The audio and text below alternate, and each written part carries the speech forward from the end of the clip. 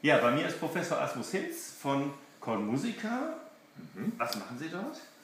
Zunächst einmal der Name vollständig lautet Conmusica Institute for Modern Music Education.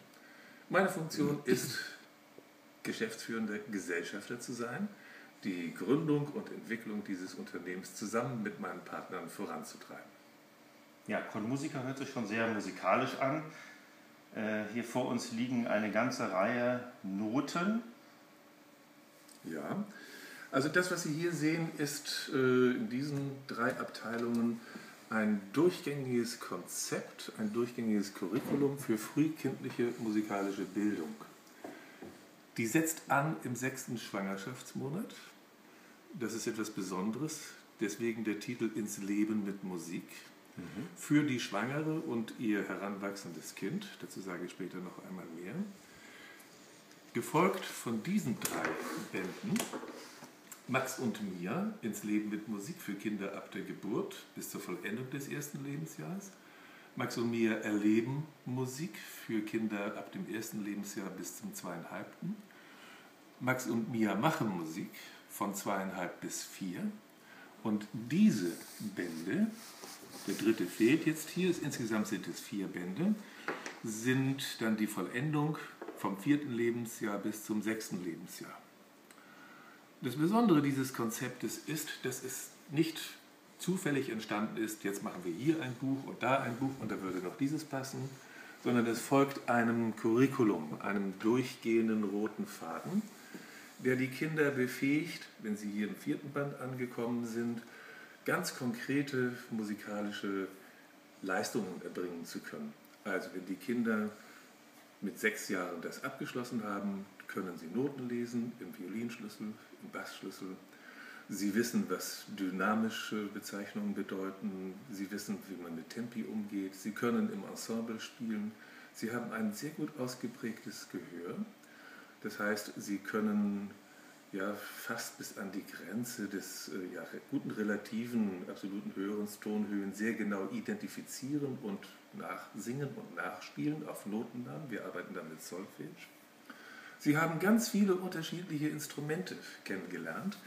Die Instrumente des symphonischen Orchesters, aber auch die Instrumente, die in einer Band verwendet werden. Hier haben wir die Instrumente des symphonischen Orchesters und haben die im Laufe der zwei Jahre, die diese Kurses dauert, äh, nach Möglichkeit auch live erlebt, vielleicht auch in der Hand gehalten, auf jeden Fall sie von einem Musiker vorgetragen gehört und erlebt und in der Zwischenzeit ganz viele andere unterschiedliche Dinge gemacht, die wichtig sind, um Musik in der ganzen Breite zu begreifen und zu verstehen. Da werden zum Beispiel Volkslieder, traditionelle Lieder äh, genommen, aber auch Lieder aus anderen Regionen der Welt. Wir haben dann natürlich auch die Begegnung mit der sogenannten Hochkultur. Wo haben wir das? Naja, hier das Tedeum, das ist jetzt Ode an die Freude. Da gibt es ja viele Anlässe, die über diese Musik zu sprechen und diese Musik in unterschiedlichsten Formen zu hören. Und das zieht sich durch diese ganzen Bände hindurch. Wenn wir hier nochmal zurückgehen zu ins Leben mit Musik, das Konzept für die Schwangere, so hat man hier am Anfang ein Vorwort, das erklärt, warum es sinnvoll ist für die Schwangere und ihr heranwachsendes Kind, sich damit zu beschäftigen. Es wird über vorgeburtliches Verhalten oder dem Titel Die Gebärmutter ist das erste Klassenzimmer äh, geschrieben, über das, was Bewegung und Hören anbetrifft im vorgeburtlichen Stadium und viele weitere Informationen. Und dann beginnt dieses Konzept damit, dass auf jeweils einer Doppelseite ein Lied dargestellt wird, dazu ein passender Vers. Und dieses hier sind dann Übungen, die die Schwangere machen kann, aus den Bereichen Yoga, Qigong, oder auch aus ganz normalen Entspannungsübungen, die so gezeichnet sind, dass die Schwangere auch ohne Anleitung diese Übungen nachmachen kann. Mhm. Am besten wäre es natürlich, sie ginge in einen Kursus von einer Hebamme oder in eine Musikschule, wo das angeboten würde, weil man ganz viele Dinge hier drumherum auch noch machen kann. Wir haben also ein Konzept für Kursleiterinnen entwickelt, was viele Ideen gibt, wie mit diesem Buch zu arbeiten wäre.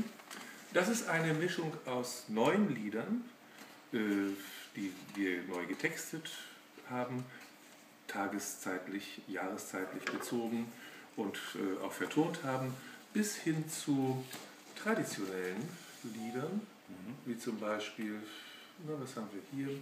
Ja, das sind Kanons, wenn ich das richtig mhm. sehe. Kanon singen, ganz, ganz wichtig. Der Mond ist aufgegangen mit allen Strophen ungekürzt ja. als wichtiges Kulturgut. Und unser Ziel ist es, äh, auf diese Art und Weise ja, Musik in die Familien zu tragen.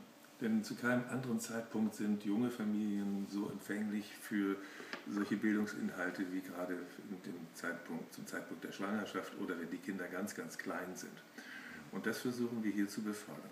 Diese CD dauert 45 Minuten, enthält alle Lieder gesungen und sehr sensibel musiziert, kein elektronisches Instrument, alles akustische Instrumente und auch anspruchsvoll arrangiert. Die Verse gesprochen von einem Schauspieler, so dass wir wirklich Wert gelegt haben auf hohe Qualität in jeder Beziehung. Und wenn Sie diese CD gehört haben, auch als Nichtschwangere, nach 45 Minuten sind Sie in einer anderen Welt, ganz entspannt und haben sehr viele Anregungen bekommen. Und wir hoffen, dass dieses Konzept dementsprechend auch breiten Zuspruch finden wird. Das ist, wie gesagt, der Baustein für das Konzept zur frühkindlichen musikalischen Bildung, was dann mit diesen Bänden fortgesetzt mhm. wird in diesem Buch für das erste Jahr. Man sieht ja gleich den Unterschied. Ne? Das ja. eine wendet sich an die Schwangere Richtig. und ist auch anders aufgemacht. Ja. Und das ist ja eher dann wieder auch als Begleitbuch für die Kinder interessant. Absolut. Und wenn Sie einmal sich die Illustrationen anschauen, so werden Sie sehen, dass wir hier immer das Schema haben Punkt, Punkt, Komma, Strich. Also das Kind Schema, welches eben Kinder in diesem Alter wahrnehmen, wenn sie einen erwachsenen Menschen sehen.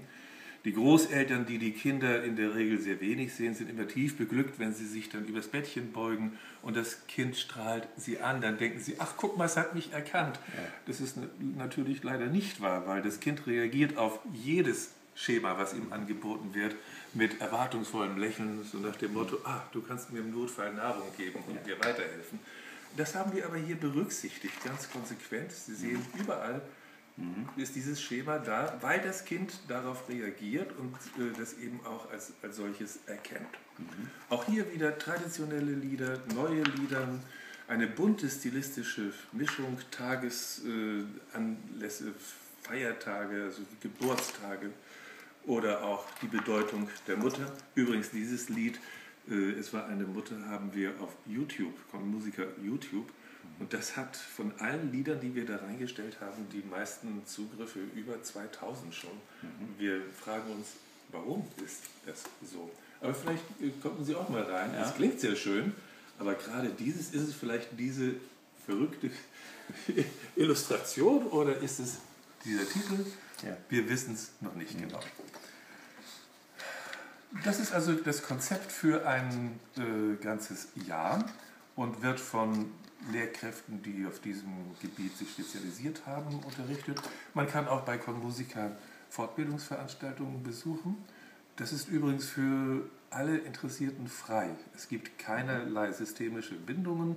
Diese Bücher kann jeder erwerben im Commusica Shop. Sie sind nicht im Handel erhältlich, sondern nur über die Webseite auf www.commusica.org. Und ebenso kann man da die Seminare buchen, die für jede Frau und für jeden Mann zugänglich sind.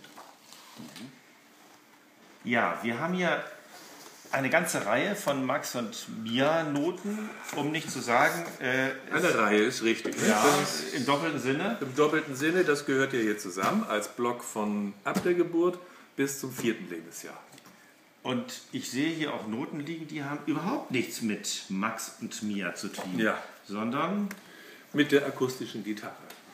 Da machen wir insgesamt vier Bände. Hier sieht man Band 1, Band 2. Und dieses Konzept, sind Sie zufällig Gitarrist? Sie sind Gitarrist, naja, dann sollten Sie lieber drauf gucken und Sie vielleicht filmen. Äh, ja, also was soll ich dazu sagen? Es ist ein Konzept, was äh, lange Jahre erprobt worden ist für den Gruppenunterricht, für den Einzelunterricht mit CD, die im Augenblick hier noch nicht dabei ist, aber jetzt im nächsten Monat herauskommt. Äh, basiert auf traditionellen Liedern. Es sind bewusst keine copyright-geschützten Songs hier verarbeitet, sondern Eigenkompositionen und Traditionelles. Ausgehend davon, dass man, wenn man das hier spielen kann, man viele andere Dinge äh, gleichen Schwierigkeitsgrades sehr wohl auch spielen kann. Und dieses Konzept vermittelt alles das, was man braucht, um im Bereich klassischer Gitarre sich bewegen zu können. Kleinschrittig aufgebaut, keine großen Sprünge, sodass das Unterrichten auch in der Gruppe sehr gut möglich wird. Sie sehen, dass es immer eine Lehrerstimme gibt und eine Schülerstimme, die dicker gedruckt ist. Hier jeweils das CD-Symbol. Alles, was gebraucht wird an theoretischem äh, Grundwissen, wird erklärt, sodass es hier äh, keine Probleme gibt, die Dinge veranschaulicht darzustellen. Und geht dann, ja, am Schluss findet man ein Gloss, Glossar, was mehrsprachig verwendet mhm. werden kann. Da wird dann eben hineingeschrieben, in welcher Sprache sich das bewegt.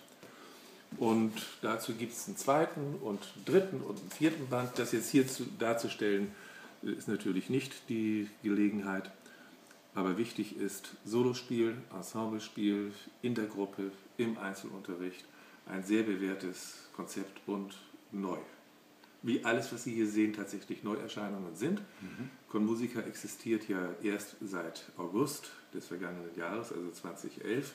Wir sind noch kein Jahr alt und haben mittlerweile schon 13 Bücher, ich habe nicht alle mitgebracht, publiziert.